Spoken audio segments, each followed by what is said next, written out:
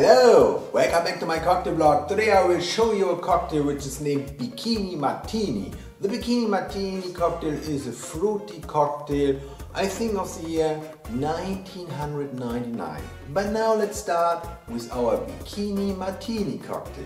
Here is my cocktail shaker. And I fill my cocktail shaker with some ice.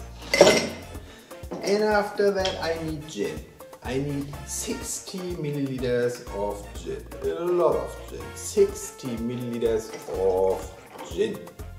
And I need blue curacao liqueur.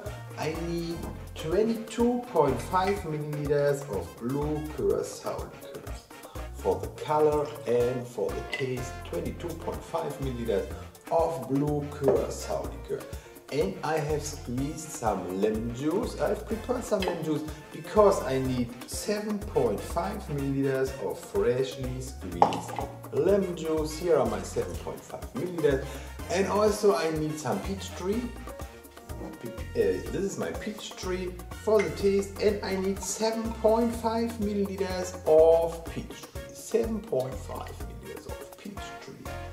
So now we have gin, blue curacao, Peachtree and freshly squeezed lemon juice and we can shake our bikini martini cocktail.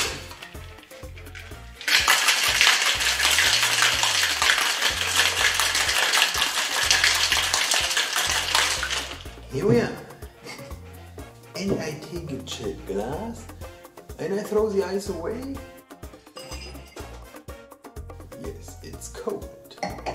And after that I can strain my shaken Bikini Martini cocktail into my chilled cocktail glass and garnish it with an orange twist. Here we are, the fruit cocktail of the year 1999 called Bikini Martini. And I say now cheers and goodbye and if you like it please subscribe my channel